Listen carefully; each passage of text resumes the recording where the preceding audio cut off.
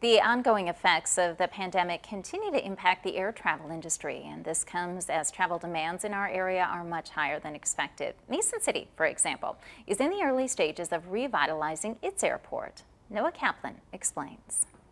I grew up in Mason City, so the Mason City Airport's always been a part of our life. For many, small town flying is just easier. Some airlines are cutting flights, but at least in Mason City, there is no shortage of passengers.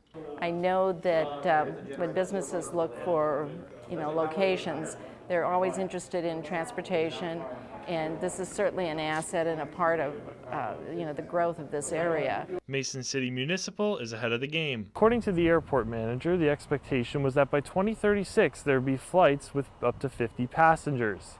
There are two flights like that round trip daily now. Since the introduction of United Express service to Chicago and the uh, recovery from the COVID-19 pandemic, we are seeing a major increase in demand for tra travel out of Mason City. Um, a, a, good trip out of here is to go to Chicago for the weekend, and it's marketed quite well, and um, that's a, often popular for women. If you look around um, the United States, you know, securing an airport in your area is really critical. The airport is making moves to accommodate it has three different proposals to update the facility.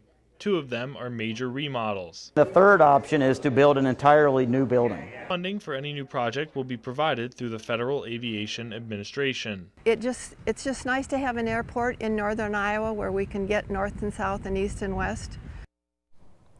And worldwide airline losses from the pandemic are set to surpass $200 billion.